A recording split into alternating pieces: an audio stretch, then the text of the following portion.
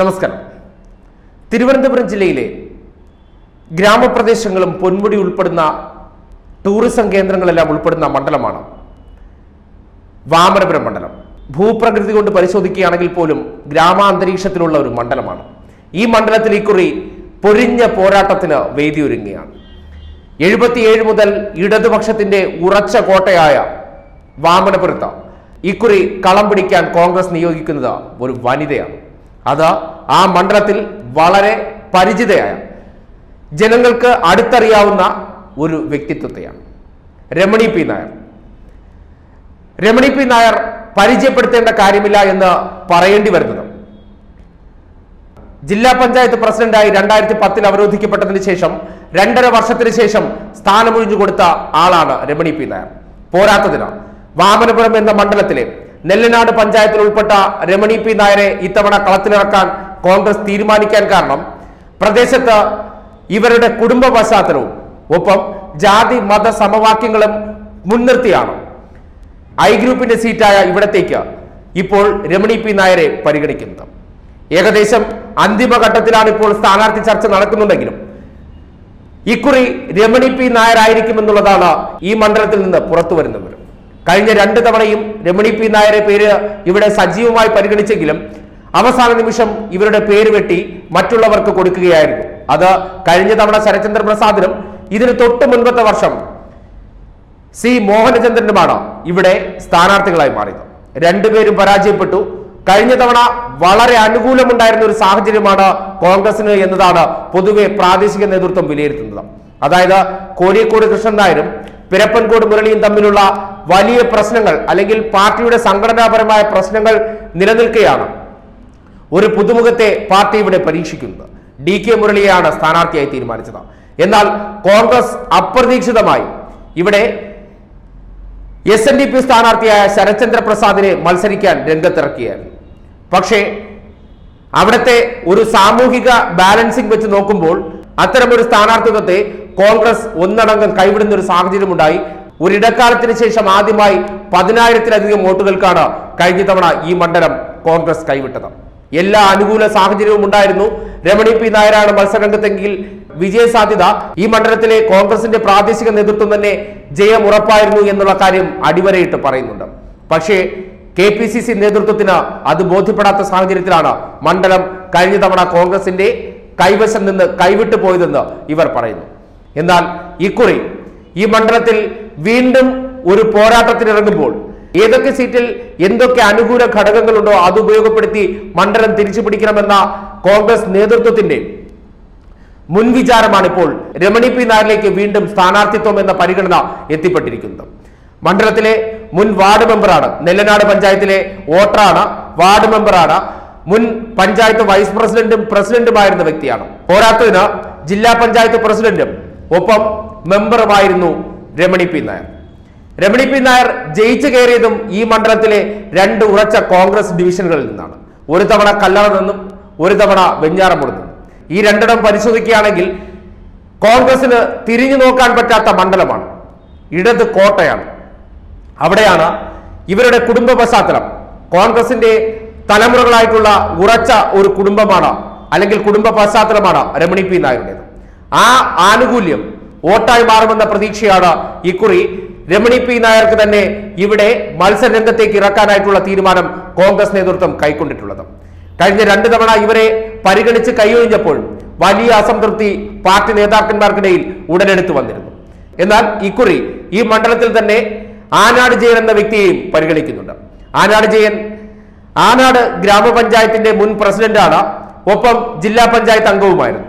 അദ്ദേഹത്തെയും ഈ മണ്ഡലത്തിൽ സജീവമായി പരിഗണിക്കുന്നുണ്ട്. എന്നിരുന്നാൽ കൂടിയും ഒരു ജില്ലയിൽ ഒരു വനിതയെ മത്സരിപ്പിക്കണമെന്ന പുതിയ അടിസ്ഥാന തത്വത്തിന്റെ അടിസ്ഥാനത്തിൽ തിരുവനന്തപുരം ജില്ലയിലെ വനിതാ കാൻഡിഡേറ്റ് ആയിട്ട് പരിഗണിക്കുന്നത് രമണി പി നായരെയാണ്. രമണി പി നായർക്ക് മത്സരിക്കാൻ വേണ്ട എല്ലാ അർഹതയുമുണ്ട്. പോരാത്തതിന് വാമനപുരം മണ്ഡലത്തിന്റെ ഒരു സോഷ്യൽ ബാലൻസിംഗിന്റെ സാഹചര്യം വെച്ച് നോക്കുകയാണെങ്കിലും വളരെയധികം വിജയ സാധ്യതയുള്ള ഒരു കോൺഗ്രസ് കാൻഡിഡേറ്റ് കൂടിയാണ് രമണി പി നായർ എന്ന് പ്രാദേശിക നേതൃത്വം പറയുന്നുണ്ട്. ഇപ്പോൾ വാമനപുരം മണ്ഡലത്തെ സംബന്ധിച്ച് പരിശോധിച്ചു നോക്കുകയാണെങ്കിൽ ഡി കെ മുരളി എന്ന എം എൽ എ തന്നെയാണ് രണ്ടാം വട്ടവും അവിടെ മത്സരത്തിന് ഇറങ്ങുന്നത്. അദ്ദേഹത്തിന് നേരിടുന്ന ഒരു പ്രതിസന്ധി എന്ന് പറയുന്നത് പാർട്ടിക്കുള്ളിലുള്ള സംഘടനാ പ്രശ്നം മാത്രമാണ്. വാമനപുരം മണ്ഡലത്തെ സംബന്ധിച്ച് നോക്കുകയാണെങ്കിൽ എല്ലാ കാലത്തും തെരഞ്ഞെടുപ്പ് അടുക്കുമ്പോൾ അല്ലെങ്കിൽ തദ്ദേശ തെരഞ്ഞെടുപ്പ് അടുക്കുമ്പോൾ കൃത്യമായി വെളിവാകുന്ന ഒരു കാര്യമുണ്ട്. ഇടതുപക്ഷ മുന്നണിക്കകത്തുള്ള അഭിപ്രായ വ്യത്യാസം അതായത് സി പി എമ്മും സി പി ഐയും തമ്മിൽ ഇവിടെ രണ്ട് തട്ടിലാണ്.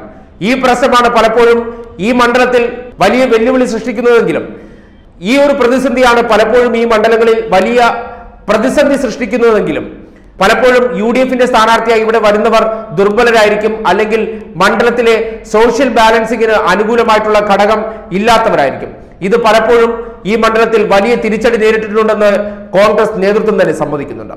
ഈ സാഹചര്യത്തിലാണ് ഈ പ്രശ്നങ്ങളെല്ലാം മാറ്റി നിർത്തി ഇപ്പോഴത്തെ ഒരു സാഹചര്യത്തിൽ ഏത് മണ്ഡലവും എങ്ങനെയും പിടിച്ചെടുക്കാൻ കഴിയും?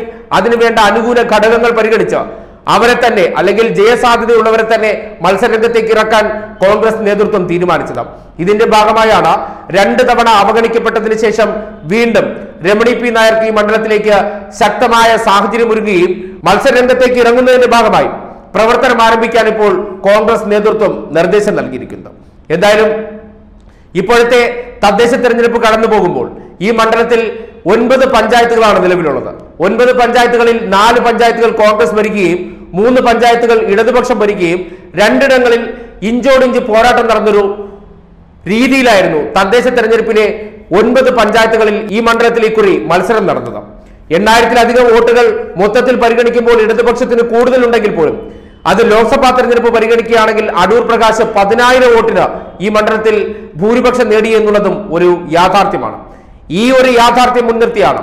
അടൂർ പ്രകാശിനെ പോലെ ഏറ്റവും കൂടുതൽ ജനസ്വാധീനമുള്ള ഒരു വ്യക്തി വന്നാൽ ഇത്തരത്തിൽ ഉറച്ച ഇടതുകോട്ട പോലും പിടിച്ചെടുക്കാൻ കഴിയുമെന്നുള്ള ഒരു ഉദാഹരണത്തെ മുൻനിർത്തിയാണ്.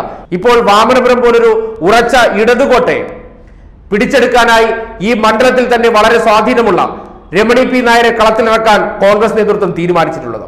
ഇപ്പോൾ തദ്ദേശ തെരഞ്ഞെടുപ്പിൽ ഉണ്ടായിരിക്കുന്ന എണ്ണായിരം വോട്ടിന്റെ ഭൂരിപക്ഷം ഒരു വലിയ തോതിൽ മറികടക്കാൻ കഴിയാത്തതല്ല എന്നുള്ളത് കോൺഗ്രസ് നേതൃത്വം വിലയിരുത്തുന്നുണ്ട്. പ്രാദേശിക തലത്തിൽ തന്നെ ജനങ്ങൾക്ക് വളരെ പരിചിതമായിട്ടുള്ള വ്യക്തിയാണ് രമണി പി നായർ എന്ന് പറയുന്നത്. രമണി പി നായരുടെ കുടുംബ പശ്ചാത്തലം പരിഗണിച്ചാൽ മുൻപ് അവർ ഇടത് കോട്ടകളിൽ നിന്ന് ജില്ലാ പഞ്ചായത്തിലേക്ക് മത്സരിച്ചപ്പോൾ ജയിച്ചു കയറാനുണ്ടായ സാഹചര്യവും അത് അവരുടെ കുടുംബ പശ്ചാത്തലവും ഒപ്പം എൻ എസ് എസിന് ഈ മണ്ഡലത്തിലുള്ള ഒരു പ്രാമുഖ്യം ഒന്നുകൊണ്ട് തന്നെയാണ്. അപ്പോ ഇക്കുറി ഒരു എൻ എസ് എസ് കാൻഡിഡേറ്റ് കൂടിയായ രമണി പി നായരെ കളത്തിലിറക്കിയാൽ അസ്വസ്ഥ വിഭാഗക്കാരും അല്ലെങ്കിൽ കോൺഗ്രസിനോട് അകന്നു നിൽക്കുന്ന എൻ എസ് എസ് വിഭാഗത്തിനും ഇപ്പോൾ സ്ഥാനാർത്ഥിയിലൂടെ അടുപ്പിക്കാൻ കഴിയുമെന്നുള്ള പ്രതീക്ഷയും ഈ മണ്ഡലത്തിൽ നിലനിൽക്കുന്നുണ്ട്. ഇതിന്റെ അടിസ്ഥാനത്തിലാണ് ഐ ഗ്രൂപ്പിന്റെ സീറ്റായ വാമനപുരത്തേക്ക് രമണി പി നായരുടെ പേരിപ്പോൾ രമേശ് ചെന്നിത്തല ശക്തമായി നിർദ്ദേശിച്ചിരിക്കുന്നത്. എന്തായാലും ഈ തീരുമാനം കോൺഗ്രസിന്റെ പ്രാദേശിക തലത്തിൽ വലിയ സ്വീകാര്യത ലഭിക്കുമെന്ന് ഉറപ്പായിട്ടുണ്ട്. അതുകൊണ്ട് തന്നെ ഇക്കുറി എല്ലാ തരത്തിലും പ്രവർത്തനങ്ങൾ കൂടുതൽ ഊർജസ്വലമായി മുന്നോട്ട് കൊണ്ടുപോകുമെന്നും ഇവർ പറയുന്നുണ്ട്.